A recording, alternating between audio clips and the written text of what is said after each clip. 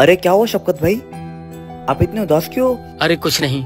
मेरा दूसरा बेटा गलत रास्ते पे चल पड़ा है और मैं चाहता हूँ कि इसे ऊपर वाले के बनाए सही रास्ते पे चलाऊं। लेकिन इसे इस बात का एहसास ही नहीं कि आज वक्त रहते ऊपर वाला इसके गुनाहों को माफ़ कर सकता है। लेकिन कल जब वक्त इसके साथ नहीं होगा तो ये अपने आप को तो सुधार लेगा, लेकिन ऊपर वाला इसे कैसे माफ़ करेगा? चल बेटा, बहुत वक्त हो गया अब चलना होगा। कुछ ज़रूरी काम है। शफकत भाई? शफकत भाई आप इतने टाइम पे कब्रिस्तान में और आप रोके रहे हो? तुम्हें पता है उस वक्त मैं अपने बेटे को क्यों समझा रहा था?